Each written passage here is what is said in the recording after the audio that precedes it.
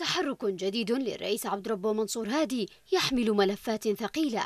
منها ما هو داخلي يتعلق بجهود مرتبطة بعقد تحالفات داخل حزب المؤتمر المنقسم على نفسه. هذه المرة كانت الوجهة القاهرة التي تلعب دورا بالوكالة مع أبو ظبي باعتبارها عاصمة دولة يتواجد فيها عدد كبير من قيادات المؤتمر والحراك الجنوبي.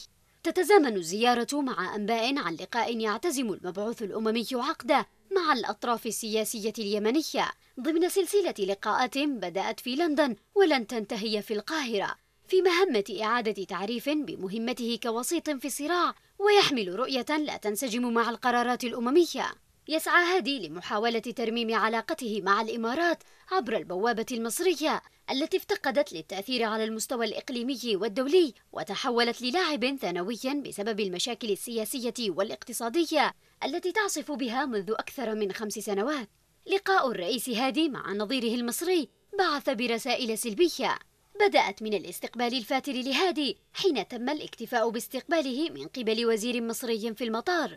رغم الإعلان عن كون الزيارة رسمية اصطحب فيها هادي وزراء ومسؤولين في حكومته. اللقاء الذي عقد بعدها مع السيسي حمل طابعا بروتوكوليا ناقش قضايا تفعيل عمل اللجنة العليا المشتركة في إطار تأهيل القوات المسلحة والأمن والتعليم والصحة والقضاء والمالية. اللقاء تناول أيضا أهمية إعادة النظر في تأشيرات السفر والموافقات الأمنية الخاصة باليمنيين ورسوم الإقامة.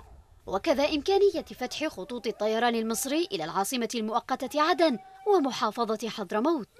الرئيس هادي وفي اللقاء أكد تطلعه إلى نهاية الحرب وإيقاف معاناة الشعب اليمني نتيجة للعنف والتطرف من قبل ميليشيا الحوثي.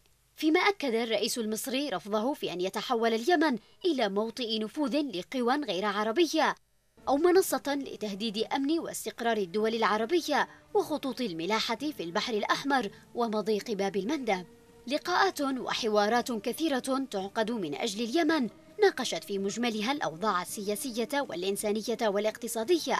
ليس ربما لمعالجتها بشكل جذري بل خوفا من انعكاساتها السلبية على أوضاع البلدان المحيطة وهي دائرة مفرغة يعيش فيها اليمن منذ بدايات الأزمة.